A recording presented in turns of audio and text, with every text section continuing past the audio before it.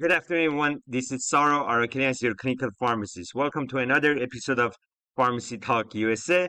Uh, make sure to subscribe to the channel to receive daily notifications on medications news and updates.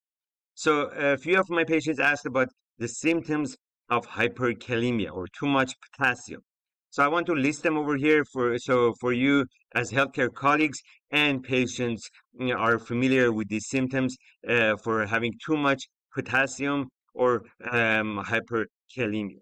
So um, uh, symptoms of high potassium may include abdominal pain, diarrhea, nausea, vomiting, chest pain, um, heart palpitations, uh, arrhythmias, uh, muscle weakness, uh, numbness in the limbs.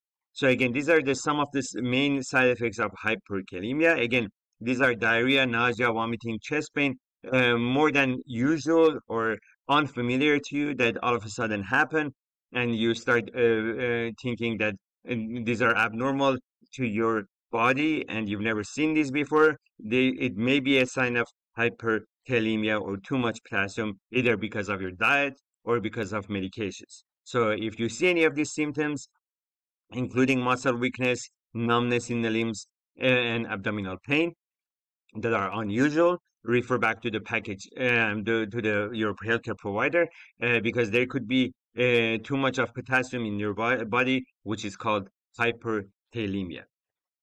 I just want to answer uh, the symptoms of hyperkalemia in this video with the list of these symptoms included um, uh, and listed over here for you. Hope you enjoyed this video. As always, stay safe and take your medications.